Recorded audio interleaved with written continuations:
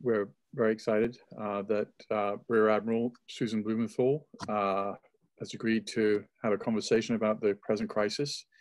Uh, she's a senior fellow in the America's Health Policy Program and a former US Assistant Surgeon General, uh, serving in, for in the administrations of four US presidents in various roles. Uh, I'm Peter Bergen, I run the Global Studies Program at New America. And so I'm going to turn it over to Rear Admiral Blumenthal uh, to make some opening remarks, and then we're going to have uh, a discussion, and also I'll be looking for your questions in the chat and the Q&A functions. Well, thanks so much, Peter, for uh, having me today and for the opportunity to talk about uh, this pandemic uh, that is devastating the health and economy, not only of our country, but of countries around the world. Uh, in America, over 71,000 people have died as of today. In the world, 258,000 have perished. More people have lost their lives in the United States than in any other nation. In fact, we represent 25% of deaths worldwide. But it's not another country that's attacking us. We're at war with an invisible enemy, COVID 19. And you know, for many of us in the in the public health field, this is the Pearl Harbor of public health, as our nation was woefully unprepared for this assault on the well-being of Americans. Uh, years of neglect and underfunding of America's public health infrastructure had left our nation extremely vulnerable to an infectious disease threat. Uh, alarmingly, despite major scientific advances in the 21st century, the major weapons in our country's toolbox for battling this coronavirus outbreak when it emerged were similar to those used in 1918 to combat the Spanish flu pandemic. They were proven public health practices such as social distancing and good hygiene. Um, and you know, I was uh, looking at a, a, television appearance that I had done right after the H1N1 uh, uh, flu outbreak and talking about social distancing and proven public health practices. Having been in the government after the anthrax attacks, uh, SARS, and H1N1, um, that we are, are still using these practices now more than ever. Our country's response requires mobilization of all agencies of government in collaboration with the private sector, working with other countries in a coordinated battle to save lives. So, you know, we know everyone is at risk, and every state in the nation had declared COVID 19 as a disaster. The disease has overwhelmed our health system, which currently has less than a million staffed hospital beds. Uh, the disease is also disproportionately affecting people of color who experience many other health disparities in our country, including higher death rates from some illnesses, racism, as well as less access to health care. Furthermore, uh, people of color are more likely to be essential workers and have lower incomes with an inability to social distance at their jobs or stay home for weeks. Um, and also, we've seen a, an interesting sex difference uh, in the disease. We, we found that while women and men experience the disease at similar rates, that men have twice the death rate uh, as women do, and we can talk about that more later. Um, the, the disease's current mortality rate is almost 6% in America. Um, and the original projections were that as many as 100 to 240,000 people in our country could lose their lives. Um, to put these numbers in perspectives, consider the US service members' deaths from two previous wars. In Vietnam, there were 58,000 deaths, in the Korean War, 34,000 deaths.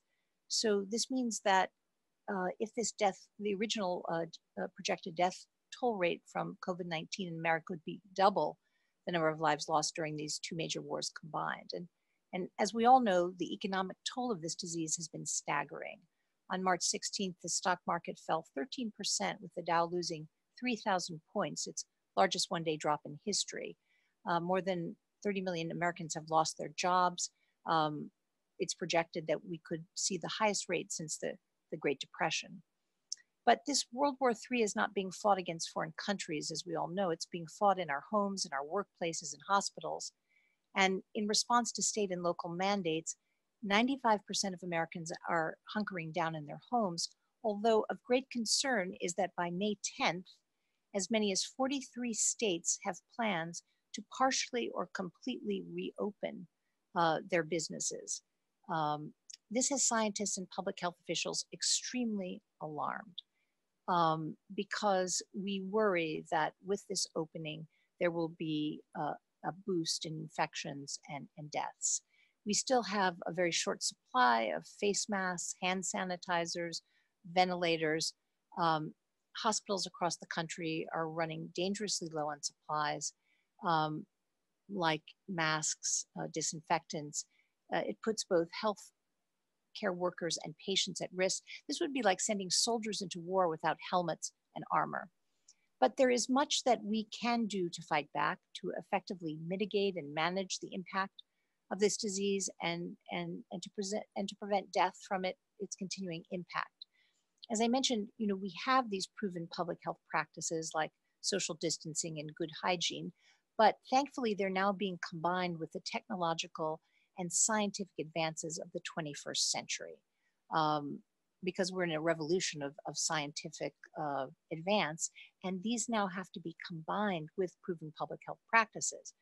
You know, uh, senators have called on the president to enact the Defense Production Act of 1950, which would have granted him authority to repurpose manufacturing plants for mass production of crucial medical supplies. And uh, while the president did enact this law, he, he hasn't fully implemented it uh, by directing clothing, car, and cosmetics manufacturers, among other businesses, to produce these crucial medical resources, including personal protection equipment, diagnostic and antibody tests at massive scale, as well as ventilators to save American lives. So while some private companies have valiantly stepped up to this challenge and uh, car companies, the, the, the uh, president did ask them, you know, to make ventilators. The need is still very great, and more industries must be marshaled for this purpose. Additionally, novel methods for testing, vaccine, and treatment production are at last being developed and deployed. The United States has the technological expertise to lead a revolution in, scientific, in scientific discovery to fight this public health crisis, and our universities and biotech industries uh, among the very best in the world are now at this forefront of this battle. A new generation of molecular biology techniques and high throughput platforms are being mobilized for large scale testing. Given this national emergency, the FDA lifted regulations on production of these tests and gave, gave emergency approval for four of them. Um, as a result, many tests, uh, for example, antibody tests, have been put on the market without, however, adequate evaluation. And now um, there's going to be backtracking to asking the FDA to to uh, reevaluate uh, many of these tests to make sure that they are safe and effective because these diagnostic tests, these antibody tests, will be used to help decide whether people should go back to work and they, they need to be accurate. We also need accurate home tests for detecting disease as well as documenting recovery if America's communities are going to recover from this viral assault. Um, contact tracing using armies of trained professionals and volunteers, as well as technology is needed. Um, this is an essential component for opening up America. You know, contact tracing is the bread and butter of public health. It's been used for uh, monitoring sexually transmitted diseases, TB, and other illnesses. But uh, now we have to do it in a different way. We can't knock on people's doors. We're going to have to conduct it on the phone, through texting. We're going uh, apps and other technology are being proposed, but they do present privacy concerns. And, and this needs to be worked out with this kind of new model. Medications that are being used to treat other diseases, as we know, are, are now being evaluated in clinical trials for their safety and effectiveness as coronavirus therapies and new drugs must be developed as well. And as data about the clinical course of the disease is collected, we must ensure that this data is analyzed for sex and racial ethnic differences. Uh, these are important variables that have been overlooked for all too long so that interventions and policies can be enacted to meet the needs of the diverse populations affected by the pandemic. Let me just give you an example. I was involved in the uh, response to HIV AIDS from, from the very uh, beginning of its emergence. It was thought to be a disease that affected um, only gay men. Women were not considered to be um, really affected by the virus. Uh, flash forward 35 years, it's a public health oversight where now 52% of cases worldwide are among women from a population that was thought not to be affected at the beginning of the virus.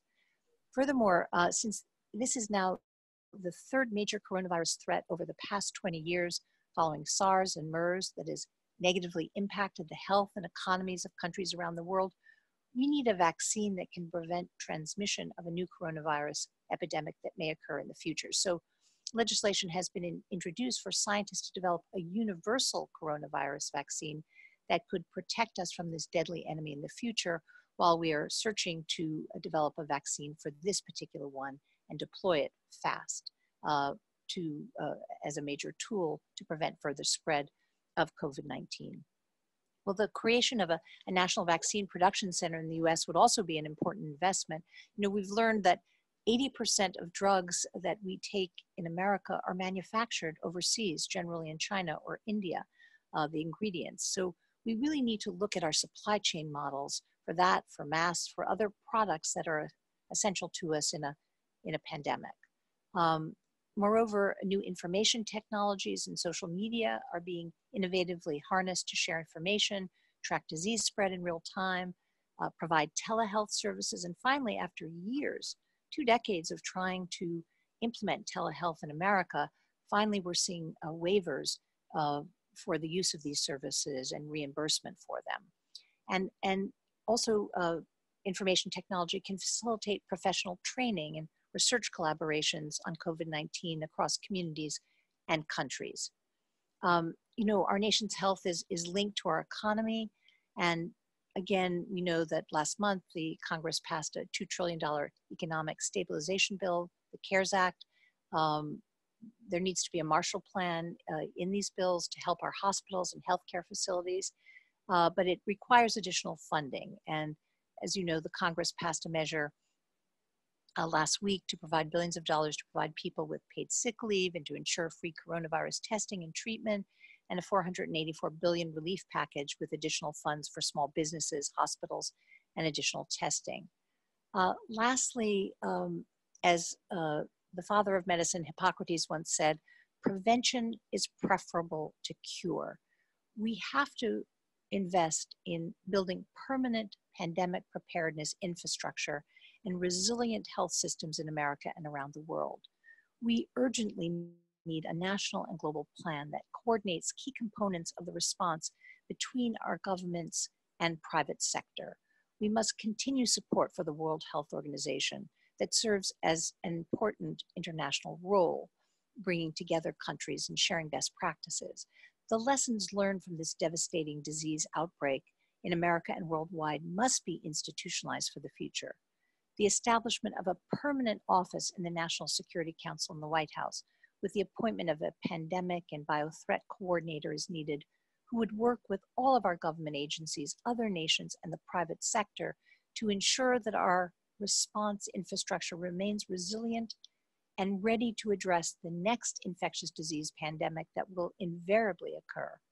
Additionally, we need to expand existing federal workforce programs such as AmeriCorps and FEMA Corps and have our Peace Corps be reassigned to, for example, work in contact tracing in order to assist vulnerable Americans, including the food insecure, uh, our seniors, and the homeless during this outbreak, uh, would be important and again um, is, is being proposed. A National Health Response Corps of medical providers, engineers, computer scientists, construction workers, and other professionals working alongside our country's active duty and reserve uniform services should be established. And the uniform, uh, the Uniform Public Health Service, uh, of which I was a member for 20 years, is creating a reserve corps whose members would also bring their skills to fighting the pandemic. Such programs reflect America's strong history of national service by mobilizing our people as a cornerstone of a whole of government and societal response to addressing the COVID 19 pandemic and future threats to our nation's public health and safety. And lastly, a commission uh, needs to be established, as was done after 9 11, to review the problems in our national response to this pandemic. The elements that were successful um, what went wrong, and how to accelerate modern testing, treatment, and vaccine production, including the policies that, we, that must be put in place for the future. And I'm, I'm pleased that such a commission has been proposed um, by Congress. I just want to remind everyone on the line, and, and thank you all for being here to learn more about uh, this pandemic. Throughout history, infectious diseases have killed more people than wars. So we must remain vigilant against them. We need a 21st century response and prevention paradigm that combines the most cutting edge technologies for surveillance, testing, treatment, and vaccine production with proven public health practices. And each one of us must fight this war working together so that someday COVID 19 will be a disease found only in the history books. And with that, thank you, uh, Peter and New America, for the opportunity to speak with the audience today. Thank you, Dr. Blumenthal, for uh, the very stimulating uh, set of opening remarks. You know, you said something pretty striking, which is uh, this was the Pearl Harbor of public health. And then towards the end of your presentation, you suggested obviously that we need a commission. Uh, you know, Pearl Harbor, in, during World War II, there were uh, multiple inquiries into Pearl Harbor. Um, and uh, you know, Admiral Kimmel uh, was sort of forced to retire early.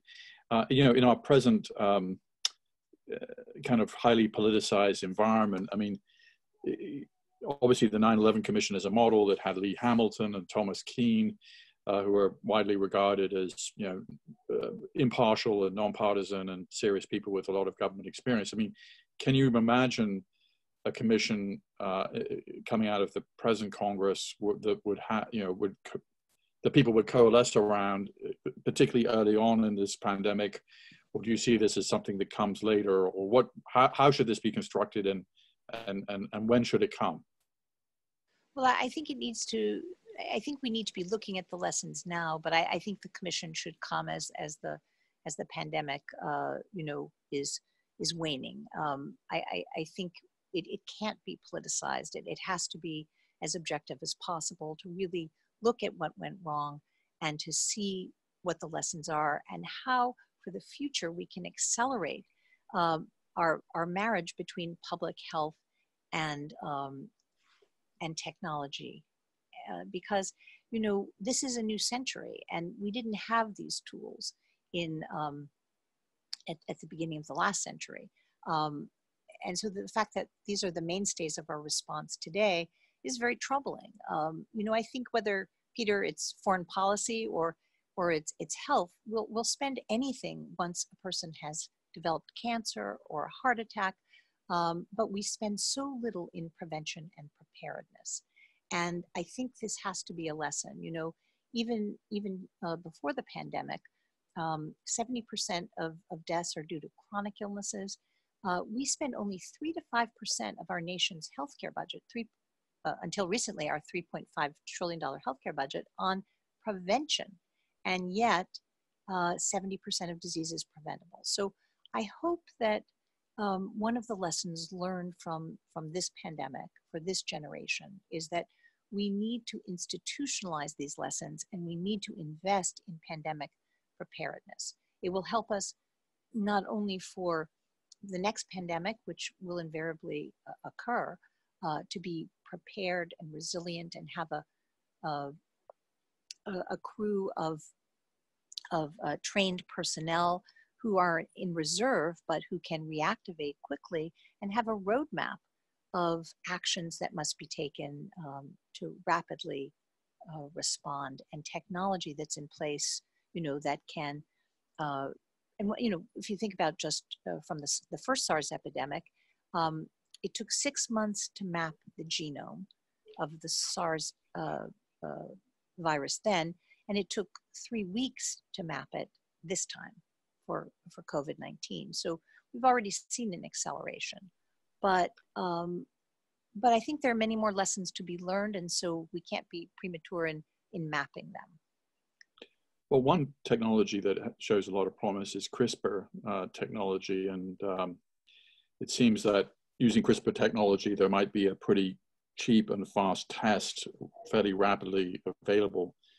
Is that something you know much about? Well, I've you know I've I've, I've read that uh, you know CRISPR uh, you know could be um, uh, put in place for this. I mean, I think there's there's so many technologies out there that um, we can uh, examine, but we're in a rush here against time. So I'm I'm confident that there will be technologies that will help us, whether it was the high uh, throughput platforms that are taking our testing capacity, you know, way up. Um, we've, uh, you know, there were many mistakes that were made in terms of the CDC test, uh, not being able to bring it to scale, not realizing that there were contaminants in the reagents, um, you know, to, uh, you know, having our our academic centers and private labs get involved. But again, there needs to be more of a coordinated response. We've found that the states and localities are competing against each other for resources. There, there should be a federal roadmap uh, and a way of, of distribution res- resources. It shouldn't be a, a, competition. It should be a, we're all in this together. And here are our needs, here's a plan, and, and here's how we're going to distribute uh, the resources. Is that the role of CDC, or have they been kind of absent here? Well, it's, I mean, this is a great institution, but mistakes have been made. I mean, the role is really, and again, uh, you know, what happened was a, a, defunding of these agencies. I mean, before the pandemic hit, CDC was uh, slated uh, by the administration to have a large uh, cut in its funding. The Public Health Service Commissioned Corps, which is our nation's first responders. I, I, was a member of that service for 20 years. Uh, it was slated for a 30 to 40% cut in personnel. Um, so there was, uh, you know, what we need is, as I mentioned in my opening remarks, we need in the National Security Council, and there was one in the past, a, um, a global health security coordinator, somebody whose job it is to think about these issues every day. Remember that in an interconnected world, the spread of an infectious disease is just a jet plane away. And people forget that 41 new diseases, new infectious diseases, has emerged since 1968 alone.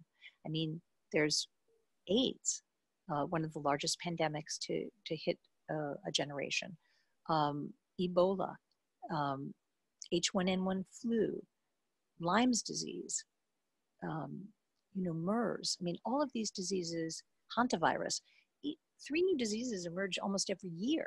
So if we need someone who is thinking about them, working with our agencies like CDC, uh, the NIH, um, FEMA, to you know to have an all of government response. Remember that CDC is one of several agencies within the Department of Health and Human Services which is one of the agencies in the president's cabinet. To deal with a pandemic, you need an all of government response, health in all policies. As we've seen, the infectious disease doesn't just affect our health, it affects our military, it affects our housing policy, it affects food and our food systems and our federal food assistance programs with rising numbers of food insecure individuals in America. So we need an all of government response. And that's why we need someone in the White House that is uh, whose job it is is to map these kinds of outbreaks and to help mobilize government um, when they see a signal that something you know is happening uh, somewhere in the world.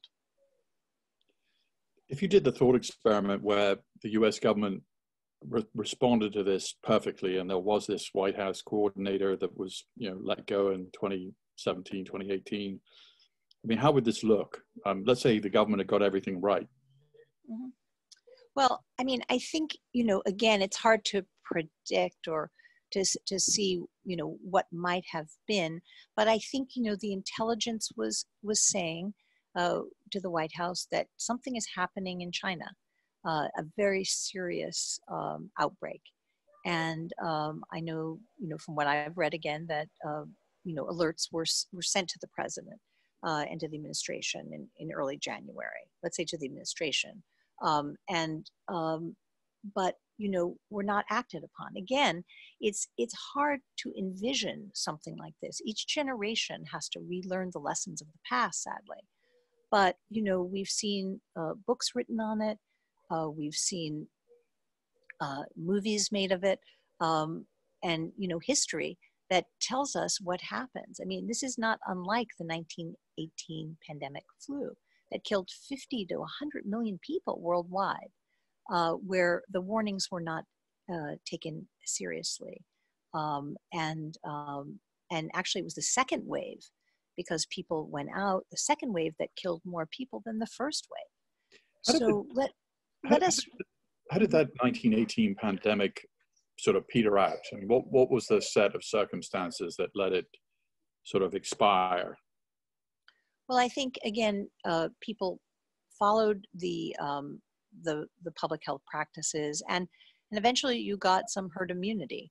You know, in the sense that you have sixty percent of people who've who've been exposed, sixty to seventy percent. So, um, you know, it, it it takes its course. But um, why is that 60 to 70% number um, so important? I mean, why is it not 80% or 90%? Um, you know, it's it's because first of all, for this pandemic, we think that maybe as many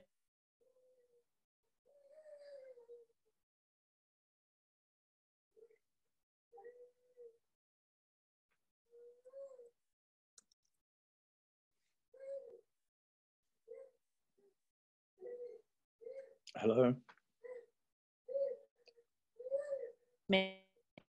15% of people have, um, you know, moderate disease, um, and uh, about 5% have very, very serious illness, and 5% are, um, we think, you know, uh, die from the illness. Um, the, this mortality rate keeps changing.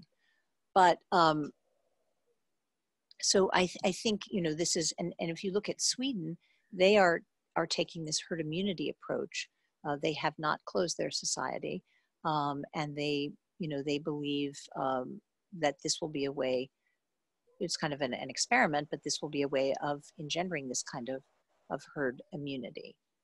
Um, you know, Peter, you had asked me um, about um, the Public Health Service and its history. Um, I don't know if that's of interest to you, but you know it's it's a service that's over uh, 200 years old and it was uh, uh, put in place because of the merchant marine service um, where again as we find ourselves now infectious diseases um, we had uh, the merchant marine who would come and go. They were essential to our economy. And um, uh,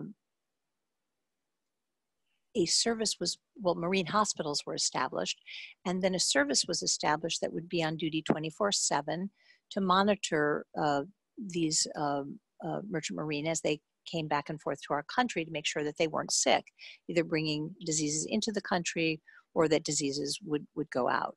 And that then got transformed into the Public Health Service. And this is a group of 6,500 um, trained professionals on duty 24 7 they're one of seven uniformed services in our country, standing side by side with the, the, the Army, uh, the Air Force, NOAA, um, the Marines. Uh, they wear the Navy uniform um, and are our nation's first responders uh, for health.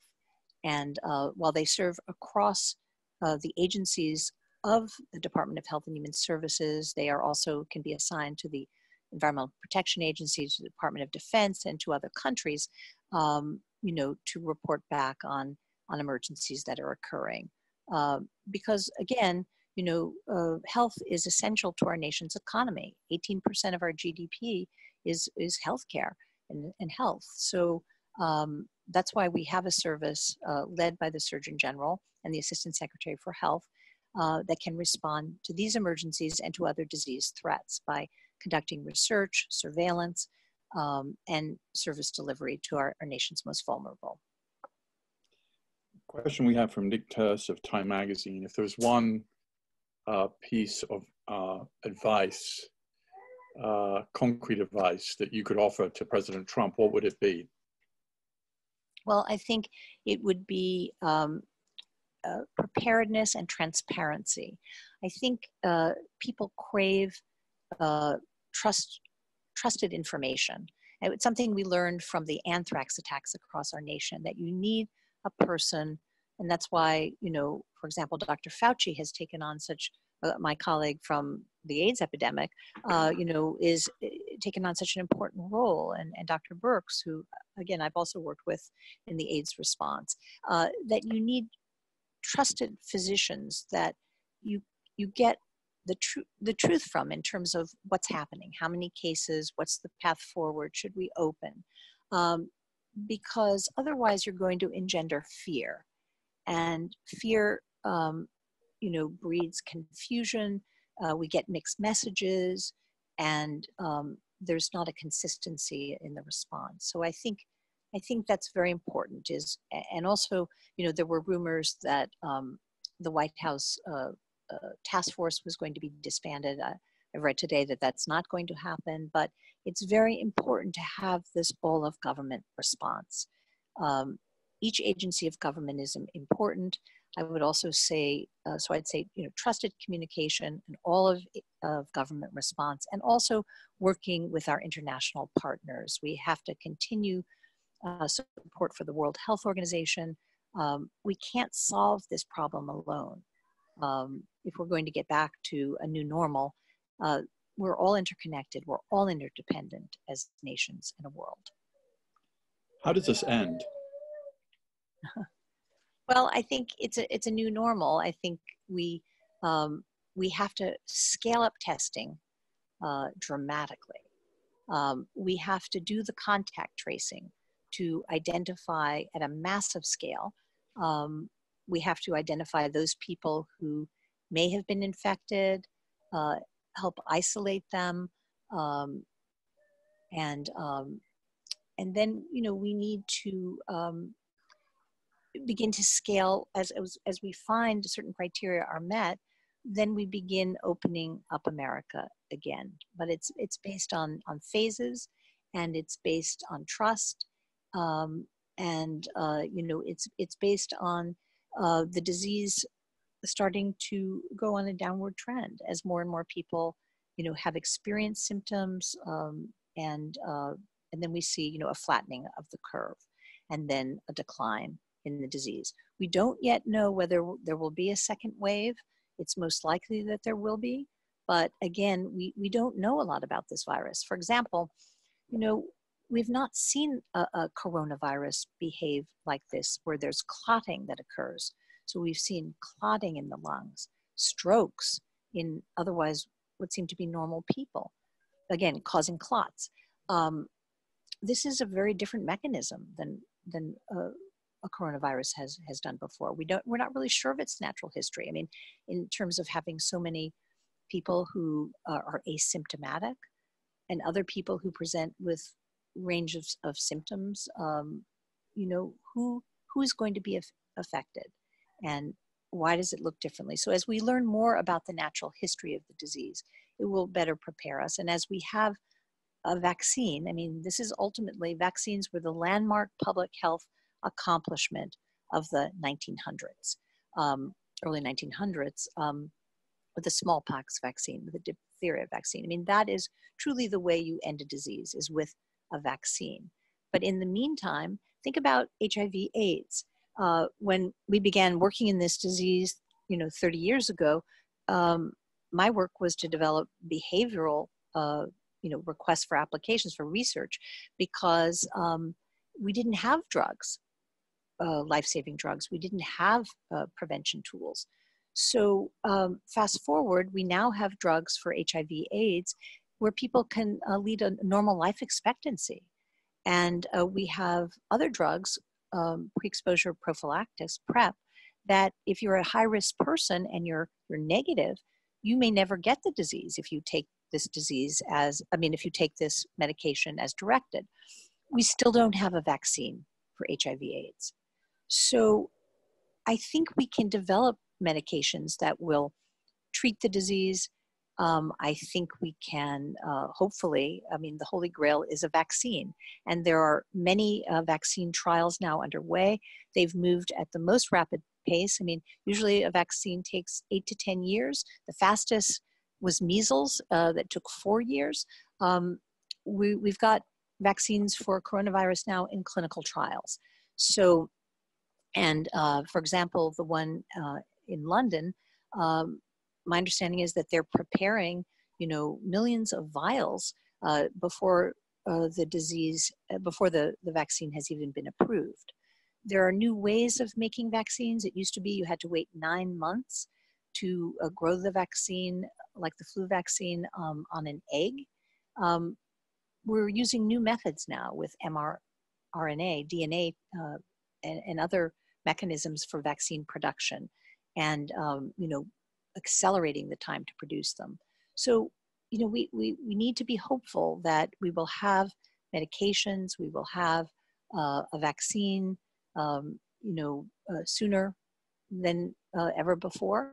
Uh, but in the meantime, we, we have to continue with the proven public health practices, the social distancing, the, the good hygiene, and the contact tracing and the isolating people until we have these um, other tools, which technology and science uh, should hopefully uh, produce in, in, the not too distant future. Already, we've seen a drug, again, it's IV, remdesivir, but it's uh, you know produced uh, so far in the one trial that was uh, released a 37% reduction in death rate. But again, there are trials underway with placebos, um, which is the true you know control clinical trial that should you know give us much more information in the next month or two. Are you personally hopeful? Uh, what is the alternative?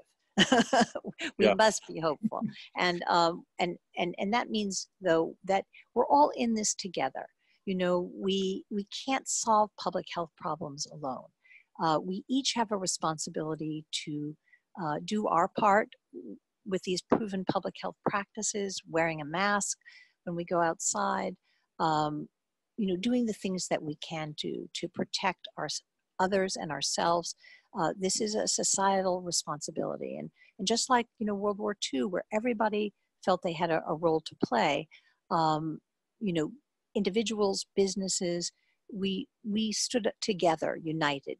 Um, and, and, now we have to be united even, even though we're apart.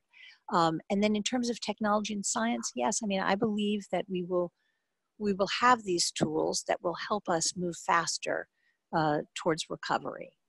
But what I worry about is that people will move too quickly uh, to put these proven public health practices aside, to uh, move into social settings that we could see another spike uh, in virus outbreak uh, in the not too distant future if we disregard this advice from our scientists and our public health officials.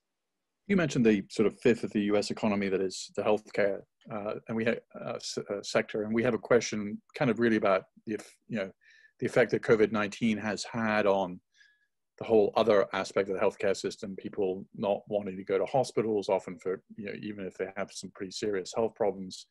How do you kind of manage that? Well, I, I think um, we're starting to see uh, a bit of a window, uh, an opening here. At first, our hospitals were overwhelmed um, and can you know they continue to be in in crisis mode but they're starting to see an opening where people can come in now uh, potentially for elective surgeries. They, they're hit very badly. I mean these are you know uh, our national treasures our, our nation's hospitals. Um, they're essential to the health of of our society and our economy. Uh, many of them were getting hit very badly. Uh, for example in my state of massachusetts we have uh, great hospitals, um, many of their them their income is in part based on foreign travelers coming, mm-hmm. um, you know, and uh, who could not come anymore. Uh, elective surgeries had to be canceled. Outpatient visits had to be canceled.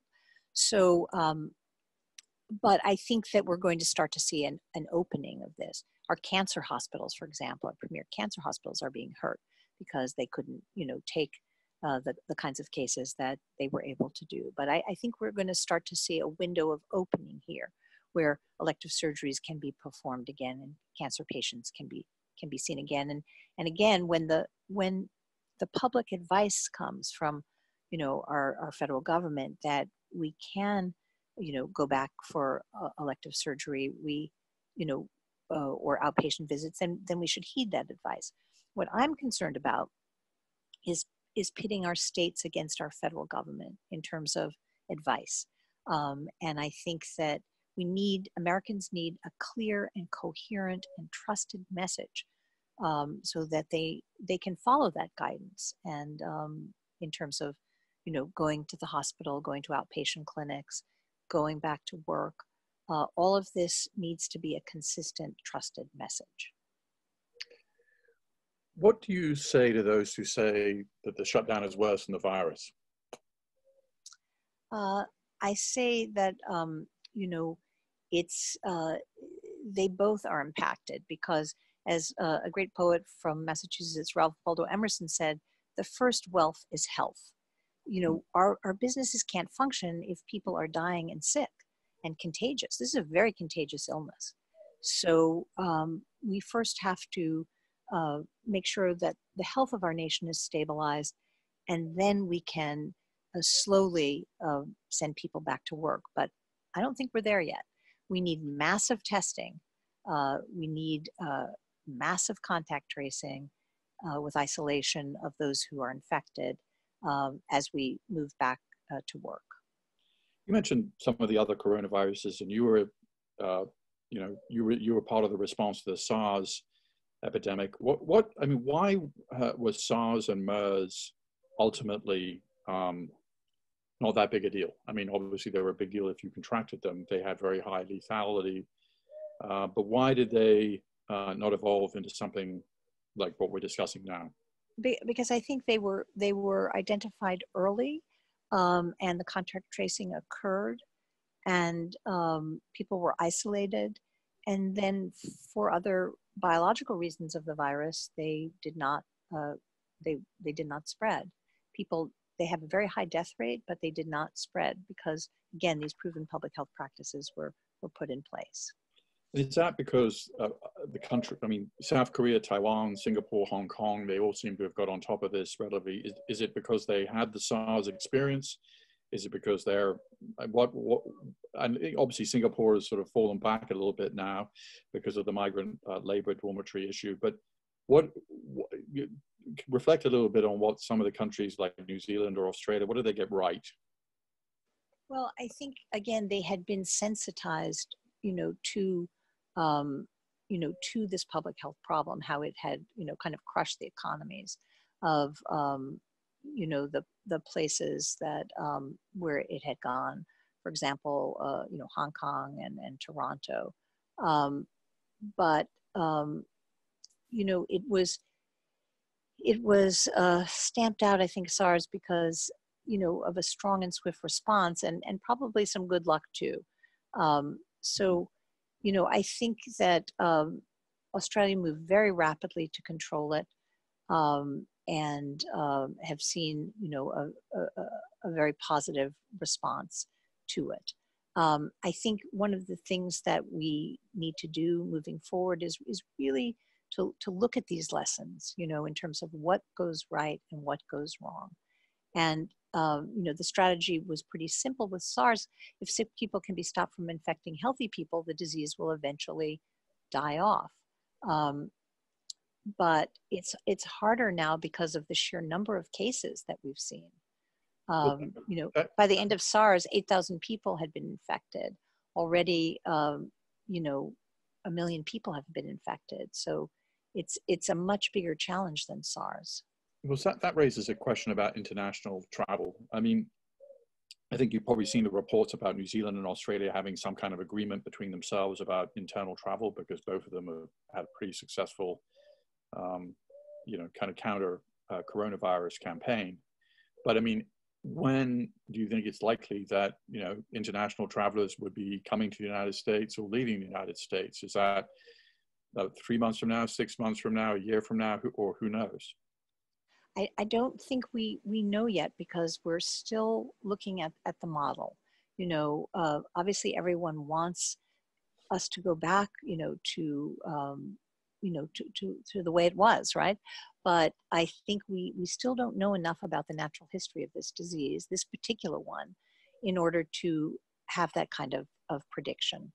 Um, you know, I think, again, for, for, for you know, we're learning that, for example, uh, this COVID 19, you know, probably was here much earlier than we ever knew. If you think about 40,000 people coming into China uh, coming from China into America every day, uh, that was a lot of people coming in before we said it was a, a you know, before the borders were closed. So um, I think, you know, we still have a lot more to learn and a lot more modeling to do um, before it, that decision can be made. Kind of a related question from Ken Meyercord, which is the French have discovered SARS, uh, the, the, coronavirus was present in France in early December. Um, does that change anything about the way we think about the origin of the, of the virus in China, or just suggests that it was in China even earlier than we may have assumed at this point? Well, I think there was a lack of transparency about it. It was probably in China. Uh, I mean, many diseases originate, again, these are called zoonotic diseases, where animals and humans live in cl- close proximity and they go from animals to humans, they jump. So, for example, the flu every year generally comes from, from China. Um, and um, and so I think it, it probably was there, and then people were going from China to Europe, right? Yeah. So uh, and then uh, from Europe into America. So you know there will be scientists spending a lot of time, you know, mapping the genomes, comparing them, seeing if there's any mutation, uh, to again better understand what the pathway was uh, for this virus uh, infecting so many people around around the world. You had mentioned earlier the you know the fact that minorities and other disadvantaged populations are uh, you know African Americans um, are disproportionately affected. This is a question from uh, an audience uh, member. What what can hospitals or healthcare centers um, how can they better reach these uh, populations where they are? Um, is there an approach that can be kind of inst- institutionalized post COVID nineteen? Well, I, I think again, uh, sadly, uh, this these facts reflect um, dis- shameful disparities that have existed in our country for all too long. Uh, you know, African Americans have higher uh, maternal mortality rates, higher death rates from um, from heart disease, from stroke, from some forms of cancer. Um, and again, uh, we haven't necessarily targeted our messages to them. Um, we haven't um, you know there's lower access to health care there's racism in this in the society. So i think again we we need to target education campaigns uh, to the most vulnerable in our society. And we have to find ways to get um, you know healthcare uh, access to them. Um, and you know again whether it's uh, mobile testing, whether it's um, you know testing in easy to go uh, places, whether it's again expansion of Medicaid, which not all states did, and it's been very hard uh, to get accomplished with the current administration. But uh, I think that again, by the coronavirus has shown a, another shameful spotlight on these inequities, and um, there are a number of waivers that are going into place through Medicare. Hopefully, we'll see more expansion of Medicaid services, telehealth services, because again, it's it's hard to, get the child care and the transportation to go see a doctor. If we can um, use telehealth in the meantime, which is something that uh, when I worked with the the military, you know, two decades ago, uh, telehealth was something that was used on the battlefield and uh, but it was impossible to get the um, uh, approvals for because of the Federal Trade Commission. You know, where is a doctor licensed? They're licensed in their state. So is the patient coming to you if they're in another state, or you going to them? These were trade issues. But in an emergency, we find that there are other ways of practicing medicine or of working, for example, with telework. But again, we have uh, such a high percentage of the minority community are in essential jobs where you know uh, they can't stay home uh, they uh, you know can't uh, you know keep uh, food for two weeks um, they're on the front lines and uh, heroes need help.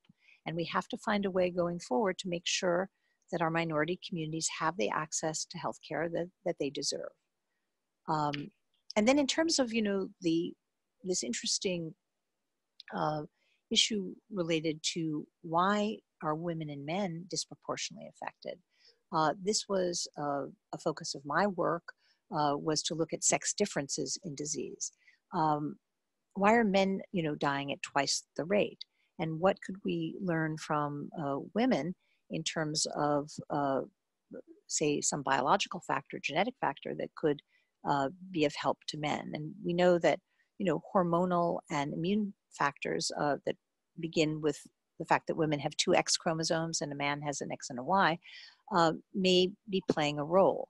Um, there were studies of mice where they removed the ovaries of the mice in the SARS, previous SARS epidemic, and blocked estrogen receptors, and they found that the female mice uh, died at the same uh, rate.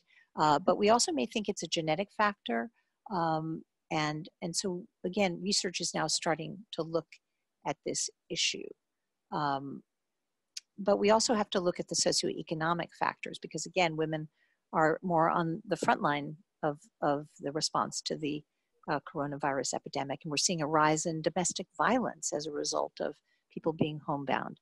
And so there are so many different biological, social, and economic factors that play into the way a disease manifests, spreads, and is mitigated. A question from Aaron Goldzimmer. Um, seems like the only way we can really reopen is widespread testing, tracing, isolation. Yet, while I hear about technological advances in testing, I don't hear about actual plans and timelines to making this happen. Is this happening and we're just not hearing about it? Or is the US never going to get its act together while other countries eventually do?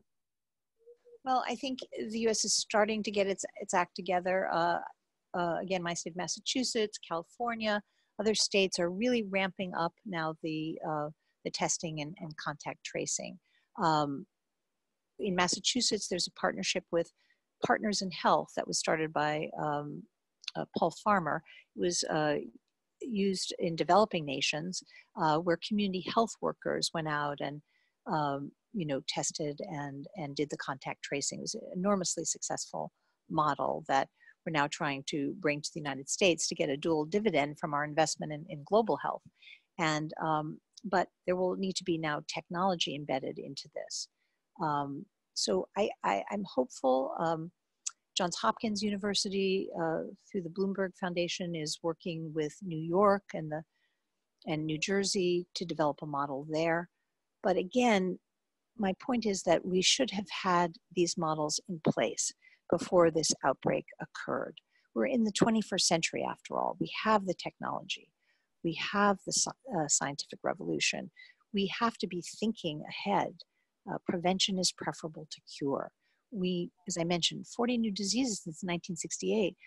We, you know, those in the public health field, this is our public health nightmare that a, an outbreak uh, would occur. We'd modeled it, we'd practiced it, we'd written about it, but they were, these books were on the shelf. Funding had been cut, uh, the coordinator had been fired, uh, or you know moved to another place. It was not seen as a priority, and so I think the bottom line here is let's make it a priority now and in the years ahead. Let's make the investments that we need to do. Let's advance the technologies and keep them advanced because what's an advanced technology today, 10 years from now, may not be so advanced anymore. So we have to keep technological advances focused on these public health problems. Remember, diseases kill more people than wars, and we have to be prepared to fight them. Well, I think that's probably a good place to leave it. Um, we want to really thank you very much, uh, Dr. Blumenthal, uh, for your uh, really interesting and um, useful and helpful and important observations. Um, and uh, I do have one more question uh, from Nick Turse of Time Magazine. You talked about the need for transparency and rely on experts for messaging. Can you talk about the perils of confusing and dangerous messages from government officials like using powerful light inside the body or ingesting disinfectants? Well, again, I think that these are very dangerous messages. We, we, we need to be hearing from our, our trusted physicians about what works and what doesn't. Um, you know, I think that, again, research into light, um, you know, uh, because light can be uh, disinfected, but the light has to be high up on the ceiling or the distance. It's not meant for, for humans. Uh, so we need, again, what we learned from anthrax attacks, uh, we need a trusted public health official communicating with the people about what works and what to expect. And that's, that's, the, way, that's the way forward. Um, and I just want to mention um, uh, an initiative that uh, I've been working with. Um, one of my uh, goals has been, uh, in projects I've been working on, is, is to really bring public health and technology together. Um, because that's the only way we're going to have a 21st century paradigm. And then the coronavirus hit. So, working with uh, MIT, um, we've uh, started a, a, social media campaign called Beat the Virus, uh, beatthevirus.org, uh, to get out those proven public health messages, to amplify them, and then to develop a, a public health communications campaign where local, uh, a network where local communities can get the information that they need in a trusted way, as well as at a national scale. So um, again, I would say that trust, uh, facts, uh, facts beat the virus. You know, facts are uh, what we need today uh, for the uh, the confidence that we can, um, you know, open up America and the world again uh, and return to a new normal. Remembering the lessons of the past, but marrying them with the science and technology of today and the future to keep our public health system resilient for the inevitable challenges that will come and to you know have a healthier more prosperous future in the years ahead. Thank you very much dr blumenthal and uh, all the participants uh, on this call would like to thank you as well. Thank you. Thank you. Thank you for the opportunity